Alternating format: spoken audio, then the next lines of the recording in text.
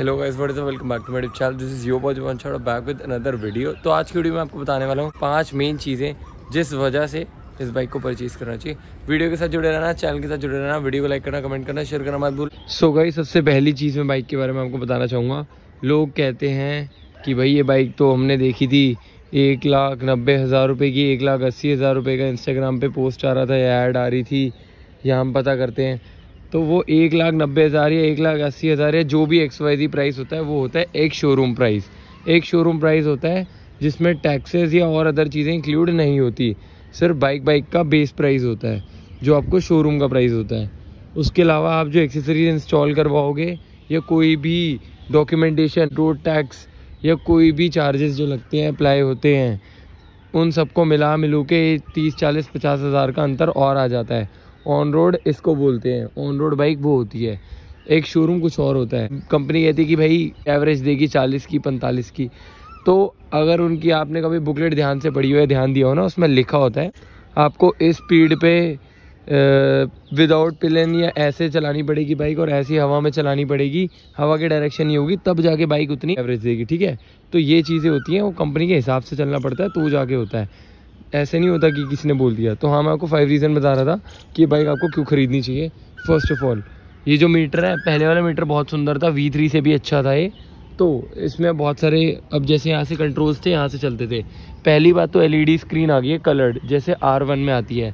जैसे इसमें ऑन करते ही, ये आता है ना आर वन फाइव फाइव ठीक है? तो उसमें आता है यहाँ और कलर्ड स्क्रीन है कलर डिस्प्ले है। ये तो मैंने इसकी थोड़ी डिम करी हुई है ब्राइट है बहुत ज़्यादा। अभी डे में थोड़ी आपको विजिबिलिटी में लग रहा होगा। विद डैट पहली चीज़, इसकी स्क्रीन डिस्प्ले बहुत ज़्यादा सुंदर आई है, जो न्यू मॉडल है फ़र्स्ट ऑफ़ ऑल दूसरी चीज़, इसके जो कंट्रोल्स हैं, वो यहाँ पर कर दिए गए हैं। बटन कंट्रोल है। अप डाउन लेफ़्ट राइट तो मतलब आप यहाँ से अलग से कंट्रोल कर सकते हो। It gives feel of a super bike with that इसमें ट्रैक्शन कंट्रोल है। सबसे बड़ी बात एलईडी स्क्रीन फ़र्स्ट हो गया सेकंड है क्विक शिफ्टर क्विक शिफ्टर क्या होता है? आपने जैसे फ़र्स्ट गियर पे बाइक स्टार्ट करी, पहला गियर लगाया बाइक चला ली रोड पर चल रही है। जैसे ही सेवन थाउज़ेंड आर से ऊपर निकलेगी तो आप विदाउट क्लच दबाए। क्लच नहीं दबाना गियर को ऊपर अब शिफ्ट कर देना। गियर चेंज हो जाएगा बहुत स्मूथली और रेस छोड़नी नहीं है अपने साथ साथ इससे क्या होता है? वी एक्टिवेट हो जाता है। वेरिएबल वेल्व एक्चुएशन जिससे इसकी स्पीड और ज़्यादा इनहेंस हो जाती है। एयर वाली टेक्नोलॉजी है जैपनीज टेक्नोलॉजी जिससे बाइक और तेज़ हो जाती है। और एक और बात, जो मेरा 2022 मॉडल है, इसके अंदर खाली गियर लग सकते थे। अब शिफ्ट आता था। इसमें अब ऑटो क्लिपर भी आ गया है। मतलब डाउन शिफ्ट भी करोगे विदाउट क्लच तो बहुत स्मूथली होगा। ठीक है? तो ये हो गई आपकी सेकेंड चीज़। थर्ड चीज़, इसके लुक्स अब मैं नहीं समझता अगर मैं किसी को ना बताऊँ कि एक 155 सीसी की बाइक है तो भाई कोई भी इसको बोल देगा विदाउट स्टार्ट करके ये सुपर बाइक है, ठीक है? और सुपर बाइक्स वैसे भी थोड़ी साइलेंट होती हैं, पर पावर में आपको पता लग जाता है पावर नहीं होगी तो ऑफ़ कोर्स ही बात है, वो तेज़ नहीं भागेगी, थोड़ी तो स्लो हो ही जाएगी, ठीक है? तो भाई लुक्स मैं इसमें आपको हज़ार मिल रहा है हज़ार इंडिकेटर्स इतना बढ़िया कलर वेरिएंट बैजिंग मिलती है आर वन फाइव एम की, ये ब्लू कलर के आर वन फाइव की फिर बैजिंग और यहाँ पर भी मिलती है। ये आर वन फाइव एम में मिलता है खाली।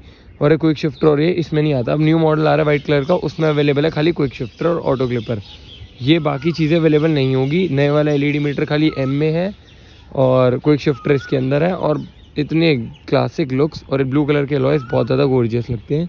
तो ऑफकोर्स आपको ये बाइक ख़रीदनी चाहिए तीन रीज़न्स चौथा रीज़न इसकी एवरेज इसकी माइलेज अदर बाइक से बहुत ज़्यादा अच्छी है।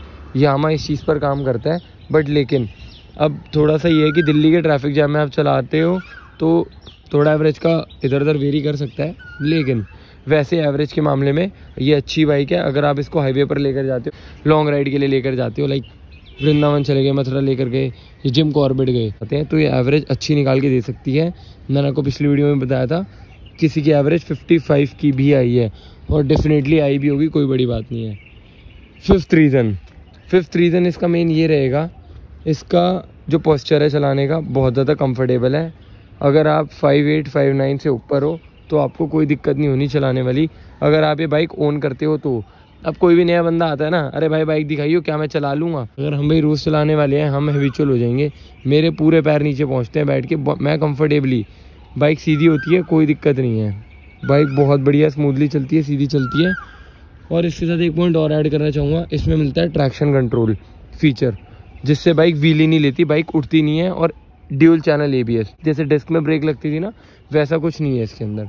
तो इससे क्या होता है कि जो ब्रेक्स लगती हैं, एकदम से स्लिप नहीं होती बाइक और बाइक गिरती नहीं है। ये इन्फॉर्मेटिव लगी हो तो लाइक करना कमेंट करना शेयर करना मत भूलना। और थोड़ी बहुत इसमें मॉडिफिकेशन आप करा के मिरर वगैरह ऐड करवा के बाहर से हल्का सा तो आप इसमें और भी चेंजेस करवा सकते हो, इसको और ज़्यादा स्पोर्टी कर सकते हो। और एक रीज़न और है। अपसाइड डाउन फोक्स आ रहे हैं।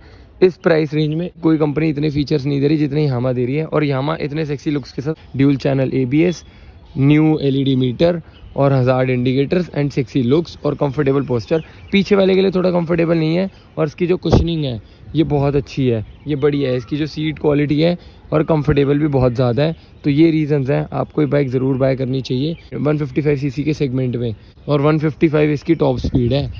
155 सीसी की बाइक 155 की स्पीड पे जा रही है तो सोचो कि कितनी बढ़िया इसमें इन्होंने काम किया हुआ है जापनीज़ और ये इम्प्रूव कर रहे हैं, दिन भर दिन इम्प्रूवमेंट हुई है। पहले जैसे थोड़ा व्हीली ले लेती थी, हल्का सा इसमें झटका सा आता था। जैसे मेरे 2022 वाले, अब तो गियर्स नॉर्मल हो गए हैं तो ये बढ़िया रहेगा आपके। और गाइज़ मैं एक और पॉइंट ऐड करना चाहूँगा कि जो यामा फीचर्स दे रहा है इस प्राइस रेंज में तो ये आपको कवासाकी में मिलेंगे फोर लाख प्लस में। के का भी कोई ऐसा वो नहीं है। और के में बहुत चीज़ें नहीं है जैसे हज़ार नहीं है। लेकिन अपसाइड डाउन फोक्स और इस चीज़ें, एक कलर कॉम्बिनेशन जो बनाया हुआ है तो के भी इनिशियल टॉर्क है बस। उसके बाद ख़त्म हो जाती है वो बाइक भाग नहीं पाती। फिर तो आर फाइव भी पीछे कर देती है उसको। और टायर्स वगैरह MRF के आते हैं इसमें। और एक साल, दो, डेढ़ साल आराम से चल जाते हैं और ब्रेक्स भी इसकी बढ़िया हैं। ब्रेकिंग मेरे को अच्छी लगी। और नो डाउट ई जो है थोड़ा जो ख़राब रास्ता आ जाएगा वहाँ पे ढंग से नहीं काम करेगा। ये नेचुरल है। लेकिन बाकी प्लेन रोड्स के लिए बहुत बढ़िया इसका इंजन जो है स्ट्रॉन्ग और मतलब बढ़िया है काफ़ी पावरफुल है। आ, किसी भी बारिश हो कुछ भी हो ख़राब रास्ता हो हर जगह चलने के लिए बाइक बनी है। और काफ़ी स्ट्रॉन्ग बाइक है और उस पर और ज़्यादा काम करके इसको अच्छा बना दिया गया है। तो बेटर आप इस बाइक को बाय करें और जुड़े रहें चैनल के साथ। प्रोजेक्टर हेडलैम्प है, बढ़िया है। इसकी जो फ्रंट की डी हैं, ये सुपर बाइक्स की टक्कर की है और बहुत ज़्यादा अट्रैक्टिव लगती है। कोई भी कंपनी है कोई भी बाइक ही दे नहीं रही है।